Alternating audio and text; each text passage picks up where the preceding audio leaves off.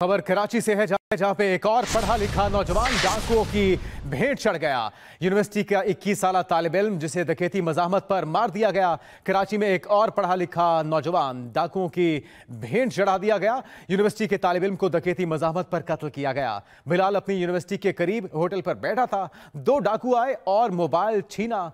मजामत पर सीने और पाँव में फायर मार दिए।